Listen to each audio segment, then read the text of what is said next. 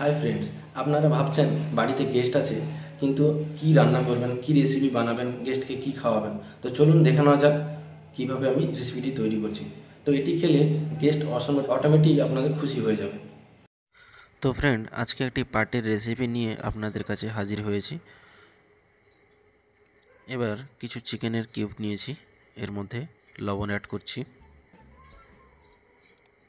Black pepper থেঁতো করা রসুন।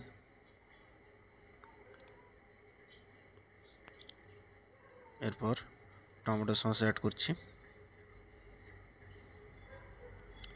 এবং চিলি পেস্ট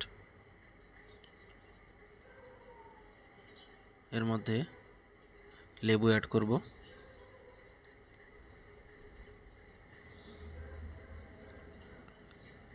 দুটো স্লাইস লেবু আমি অ্যাড করলাম। এরপর অল্প পরিমাণে সয়া সস এর মধ্যে অ্যাড করছি। Number one soya sauce add করলাম। এরপর পাইনঅ্যাপেল কিউব ওর মধ্যে দিয়ে দেবো। এবার সমস্ত উপকরণগুলো আমি ভালো করে মিক্স করে নেব। এবার আমি স্টিকের মধ্যে প্রথমে পাইনঅ্যাপেল দিয়ে নিচ্ছি, তারপর চিকেন আবার একটি চিকেন এবং আবার একটি পাইনঅ্যাপেল তো এইভাবে আমি সম্পূর্ণ স্টিকগুলো এইভাবে গেঁথে নেব। তো ফ্রেন্ড আমার সবগুলো সে স্টিক গাঁথা হয়ে গেছে। এবার আমি এবার এটিকে রোস্ট করে নেব। তো প্রথমে এটি ফ্রাই প্যানের মধ্যে বাটার দিয়ে নিচ্ছি। আপনারা এর পরিবর্তে তেলও দিতে পারেন। তো এক এক করে আমি স্টিকগুলোকে এইভাবে দিয়ে নিচ্ছি। স্টিকটি হতে হতে আমি একটি মিশ্রণ রেডি করছি। প্রথমে রসুন কুচি, লবণ ব্ল্যাক পেপার এবং chilli paste number one soya sauce লেবু,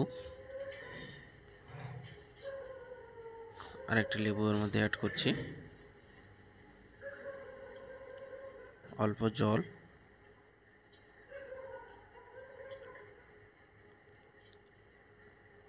আর এক চামচ চিনি, চিলি ফ্লেক্স আমি ওর মধ্যে অ্যাড করছি। এক চামচ কর্নফ্লাওয়ার আমি অ্যাড করব থিকনেস হওয়ার জন্য। এরপর আরেকটি ফ্রাই প্যানের মধ্যে আমি এটিকে ভালো করে ফুটিয়ে নেব।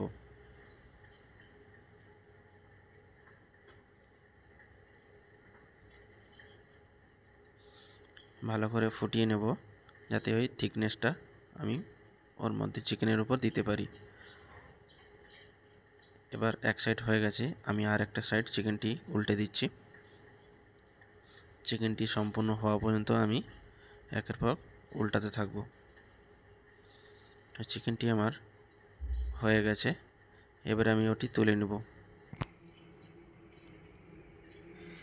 এবার ওই স্টিকগুলো আমি একটি প্লেটের মধ্যে সাজিয়ে নেব।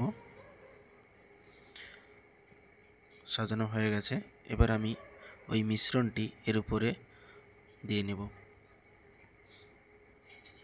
তো ফ্রেন্ড এটি একটি পার্টি রেসিপি তো আপনারাও এই রেসিপিটি দেখে ঝটপট বানিয়ে ফেলুন এবং আপনাদের কেমন লাগল আপনারা অবশ্যই এই মতামতটি আমাকে জানাবেন।